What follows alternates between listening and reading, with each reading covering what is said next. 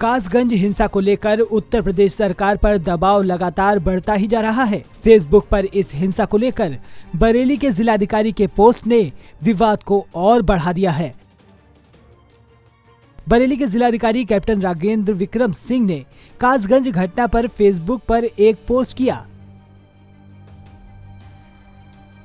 रविवार की शाम सात बजकर पचपन मिनट पर उनतालीस शब्दों के इस छोटे से पोस्ट के बाद विवाद खड़ा हो गया। इस पोस्ट के बाद बरेली के बीजेपी विधायक राजेश मिश्र ने कहा कि ऐसे अधिकारी की जगह तो जेल में है। नहीं, इस प्रकार की पोस्ट नहीं करना चाहिए। इसका मतलब वो मानसिकता उनकी हमारी सरकार, हमारे प्रधानमंत्री के खिलाफ है। और वो इस प्रकार के अगर बयान दे रहे हैं, उन्होंने कोई पोस्ट डाली है तो उस पर हम शिकायत करेंगे और उनकी शिकायत माननीय प्रधानमंत्री से लेके, माननीय राष्ट्रीय अध्यक्ष से लेके, माननीय मुख्यमंत्री से लेके माननीय प्रदेश अध्यक्ष से लेकर माननीय बंसल जी तक उनकी शिकायत कराएँगे क्या ऐसे लोगों पे पद पे बने रहना चाहिए? नहीं ऐसे लोगों को पद पे नहीं ऐसे लोगों को तो जेल में होना चाहिए।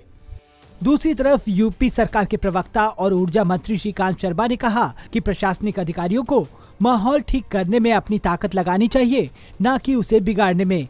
वहीं जब इस मामले में डीएम ने आर विक्रम सिंह से पूछा तो उन्होंने कहा कि प्रशासन की अनुमति के बिना ऐसे कार्यक्रम से प्रदेश की कानून व्यवस्था बिगड़ती है, इसलिए मैंने ऐसे लिखा।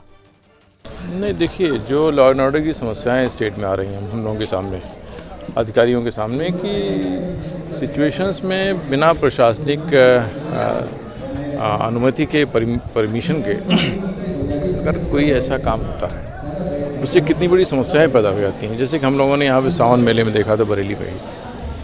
बड़ी समस्याएँ पैदा हुई और उसमें ये कि एग्रेसिव होना, अनायास पुलिस परमिशन सीख न करना और डिफाई करना, इससे बड़ी परेशानियाँ पैदा होती हैं। और प्रदेश के सामने जो प्रदेश का, हमारे प्रदेश का जो विकास का काम है डेवलपमेंट का एफर्ट है, वो किस बुरी तरह रुकता, अटकता है।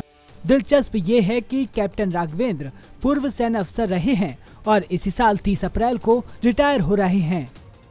डीएम ने आर विक्रम सिंह के नाम से बने फेसबुक पेज पर ये पोस्ट गणतंत्र दिवस के दो दिन बाद कासगंज में फैले तनाव के बाद किया था।